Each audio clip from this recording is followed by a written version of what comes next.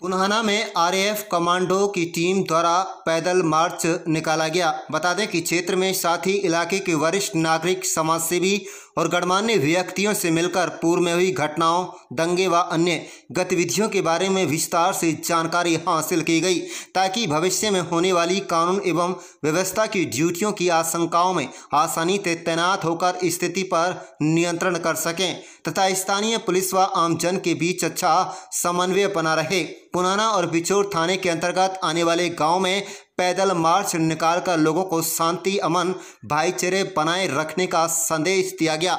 इस दौरान rapid action force के जवानों ने पुलिस व आमजन के साथ मिलकर वृक्षारोपण कार्यक्रम का पर्यावरण संरक्षण के बारे में लोगों को जागरूक किया है।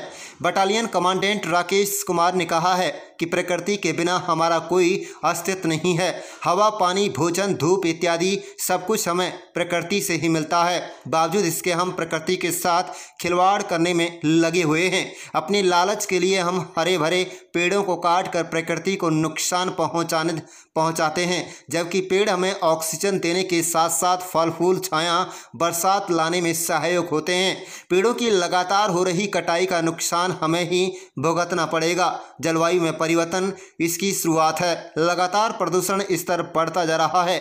हमें ज़रूरत है कि ज़्यादा से ज़्यादा पेड़ लगाएँ। इसी कड़ी में आज डीएसपी अशोक कुमार के नेतृत्व में सार्वजनिक स्थानों पर वृक्ष लगाकर अभियान की शुरुआत की गई है।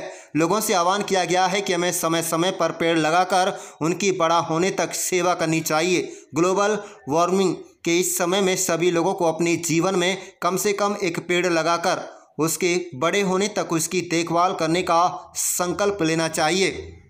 इस मौके पर बिचौर थाना प्रभारी मलखान सिंह, कमांडेंट सुनील कुमार इत्यादि पुलिस फोर्स के जवान मौजूद रहे। आप देख रहे हैं नुहमेवास से लियाकत अली रिपोर्ट। चैनल को ज़रूर सब्सक्राइब कर लीजिएगा और रोज़ाना देखते रहिएगा ज़िले की तमाम छोटी बड़ी खबरें। मुख्यतः हमारा यहाँ पे डिप्लॉयमेंट न्यू पुलिस में है और हमारा यहाँ कैंप भी बन रहा है। और यहाँ पे जब भी जो डिस्ट्रिक्ट होते हैं, जहाँ सेंसिटिव एरिया होता है, अति संवेदनशील एरिया होता है, उनका पहले से डिप्लॉय होने से पहले हमें जानकारी होनी चाहिए। उसी के अभ्यास में हम जो है फेमलाइजेशन करने आए हैं। थाने का आसपास के लोगों से मिले, सरपंचों से मिले एरिया के बारे में जानकारी हासिल की, थाने के बारे में पुराने इंसिडेंट क्या क्या हुए, उनके बारे में जानकारी हासिल करते हैं, ताकि भविष्य में कभी डिप्लॉयमेंट हो तो कोई दिक्कत ना आए। कहाँ कहाँ सर ज़िले में आपने जो है कि पूरे पूरे ज़िले में नू ज़िले में सात दिन का ये अभ्यास चल रहा है और डेली हमारा हर एक पूरे डिस्ट्रिक्ट के अंदर हो रहा है। अभी नू काम कर रहे हैं। आज हमारा बिछोर और पुराना का था और ये कंप्लीट होने जा रहा है। शायद कल हमारा फिर पुलिस लाइन नू में होगा। अब कैसा माहौल है सर क्षेत्र का माहौल शांतिपूर्ण चल रहा है। लोगों से बातचीत हो रही है। लोगों को समझाया भी जा रहा है। सद्भावना के साथ रहे हैं और ऐसा कुछ नज़र नहीं आया। आज आर के असिस्टेंट कमांडेंट, डिप्टी कमांडेंट और हमारे डीएसपी साहब पुनाना और उनके साथ फोर्स के जवान ऑफिसर्स,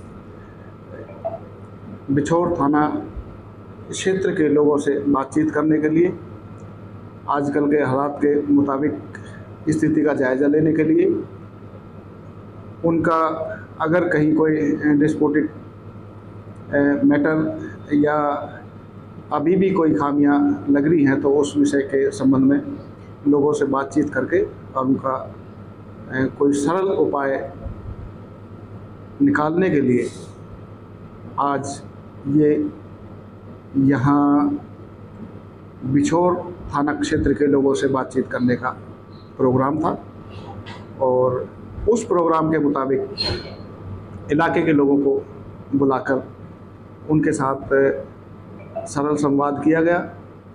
उनसे पिछले कुछ समय से चल रहा तनाव के विषय में बातचीत की।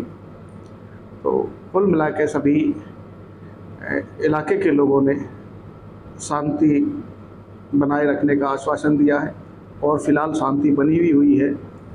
उस झगड़े में जो भी कोई लोग दोषी पाए गए थे, उनके खिलाफ कार्रवाई की जा रही है। काफ़ी लोगों को अरेस्ट किया गया है। और जो अभी बचे हुए हैं उनको भी ढूंढ कर उनके खिलाफ कार्रवाई जारी है। इलाके में शांति बनी हुई है और आगे भी शांति को इसी प्रकार से लोगों के सहयोग से बना कर रखा जाएगा। क्या नाम है मेरा नाम महादेव है ग्राम डूडोली। महादेव जी आज जो है जो थाना ने आपको बुलाया है क्या इसलिए बुलाया गया है? क्या क्या बताया गया है? बिछोर थाने में हमको बुलाया गया। हमारे सीआरपीएफ आरएफ के डिप्टी कमांडेंट थे और पुराना से अपने डीएसपी अशोक कुमार जी और हमारा थाना बिछोर के एसएचओ हैं मलखान खान जी मलखान सिंह जी। तो उन्होंने हमको बुलाया कि जो अपना क्षेत्र है, इस थाने में करीबन 26 गाँव लगते हैं। छब्बीस गाँवों के सभी मौजूदा आदमियों को बुलाया। कुछ सरपंच भी थे, कुछ मौजूदा आदमी थे। उनको बुलाकर उन्होंने कहा कि अपने एरिया में आप कैसा माहौल चल रहा है? शांति है या मतलब कुछ शरारती तत्व हैं वो शरारत कर रहे हैं? तो उन लोगों ने विश्वास दिया सभी मौजूद लोगों ने कि अब हमारे यहाँ फ़िलहाल जितना भी बिछोर थाने में एरिया लगता है, वो उसमें शांति है।